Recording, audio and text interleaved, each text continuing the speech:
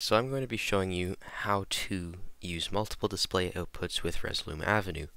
Because by default, these layers just mean that they're all going to combine into one composition, which is going to be displayed on one monitor or multiple monitors, but in its current state, only one output could be displayed.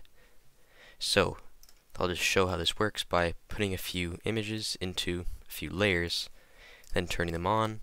So obviously the top layer is going to be what you see, then if I were to shrink it a bit, you'll see what's below it. Notice this is composition. Even if we were go to go to display 1 or display 2, the output would just be this, and if I were able if I was able to do both, it would output the same thing because there's only one composition and it's composition of these layers. We can change that by going to output and changing it to advanced. Right now, it's set to the input source for the slice is set to composition and this is the screen 1 but we can change that to layer 1 which has nothing in it right now. Can make another screen and then put layer 2 inside there.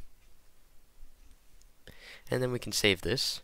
So now what I've done is linked layer 2 to screen 2 so we can call this screen 2 layer 1 and then we linked screen 1 to layer 1 so screen 1 layer 1 and now, notice we have two screens here because those are under the advanced output.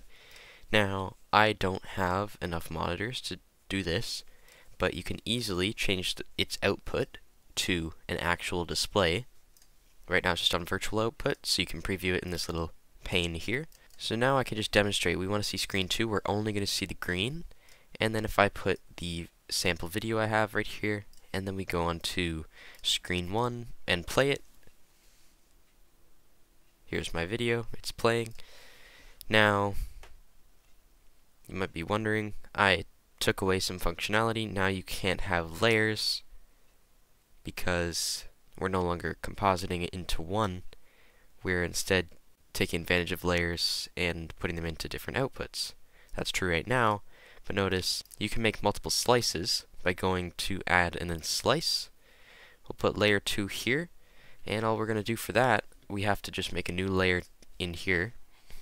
We can go to layer, new, we're just going to call it screen 2 to layer 2, and then for ease, we'll put it above layer 1 so it makes sense.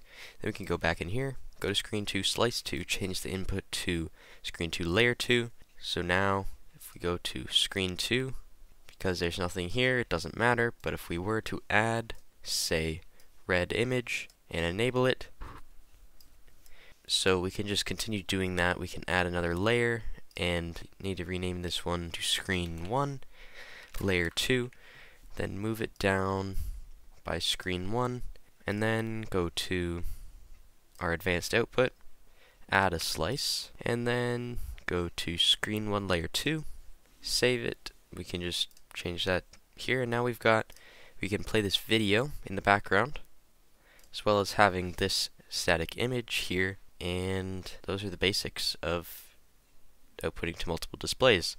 As you need to add more layers, you add more slices and associate with them with new layers. This is going to composite into this screen, and then you can output that screen to whatever device you'd like, a projector, a monitor, etc.